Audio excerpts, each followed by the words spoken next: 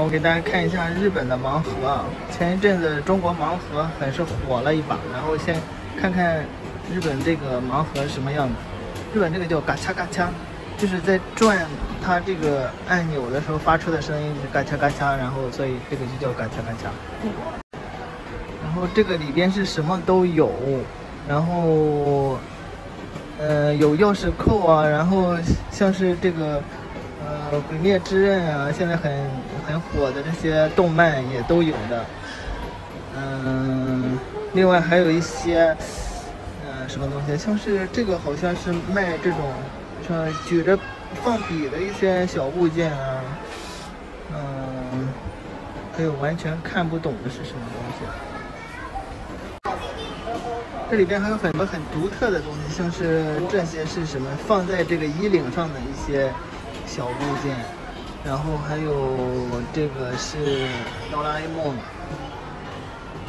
史努比，还有像是一些呃这食物的造型。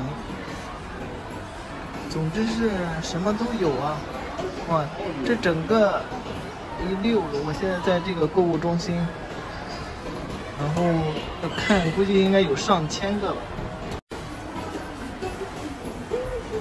像是这种危险动物的模型啊，还有一些鱼骨内部构造的模型啊，然后灭绝生物的模型、汽车模型、家具的模型等等，乱七八糟还有这个这种东西好像在日本很多年了吧，然后这几年好像又火起来了，像中国盲盒一样又火了起来。哦，这里还有这个鬼娃。我，这里还有调味料，调味料的。这里这些盲盒呢，除了像是模型啊，还有钥匙扣等等很多就是实用性的东西，像是这个就是，比如说保护你的这个数这个数据线，然后而且写十五岁以上，当然很多小孩子都来弄，也有很多大妈大叔都喜欢玩这个，然后我还是第一次弄，我试一下。嗯。投币这个三百元，每一个都不一样，有的四百元、五百元，还有两百元。这个三百元，三百元。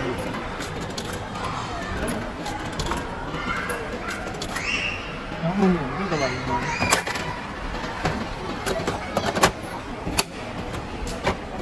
出来了。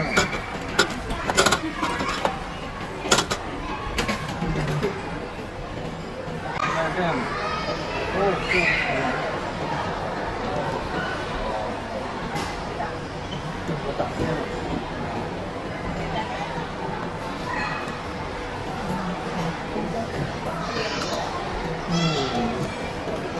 哇，打开是这样的。这个《咒术回战》也是最近在日本很火的一个动漫了，应该。之前火过的这个《鬼灭之刃》已经火完了，然后现在是这个，我们打开看一下。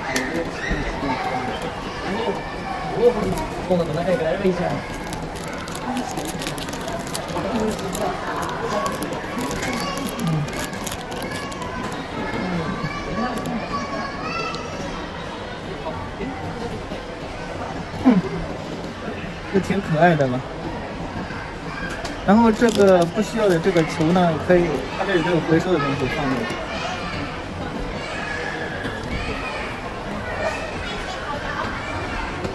然后呢，它这里边都是各种各样的系列，像是这一款有，里面有七个，